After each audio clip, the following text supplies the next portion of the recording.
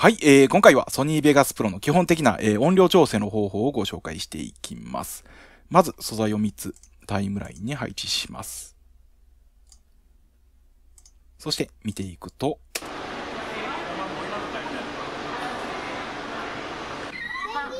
えー、こんな感じで、えー、違う環境で撮影された素材ですので、音の響き、音量の感じが違うんですね。まず最初にこれを揃えていきます。この波形を見ていくと分かりやすいんですけども、最初の素材が室内ということもあって、少し騒音がうるさい感じになっているんですね。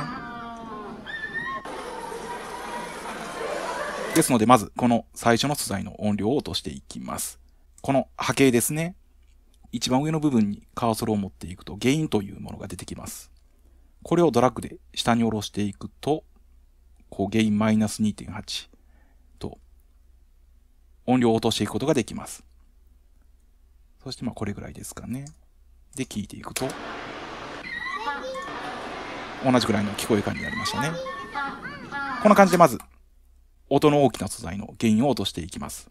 そして次に見ていくと、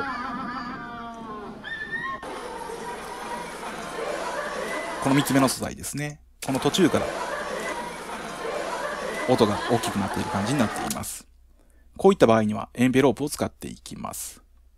トラックを選択した状態で、挿入、オーディオエンベロープ、ボリュームをクリックすると、こんな感じでボリュームの線が出てきます。この線の上でダブルクリックすると点を打つことができます。もう一つ点を打ちます。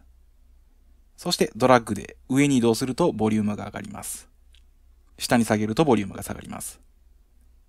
こんな感じでこの波形を見ながら音が大きくなっている部分のボリュームを落としていきます。そして耳で確認します。こんな感じですね。そして素材の音量を揃えた後に最終的にトラック自体の音量の上げ下げを行います。そして一つ注意点としまして、この音量ですね、上げすぎるとこんな感じでメーターを振り切って赤く数字が表示されています。これは 1.2dB オーバーということで、この赤い状態になりますと音がプチプチと割れたりします。えー、ですので、このメーターを振り切らない程度に押さえてください。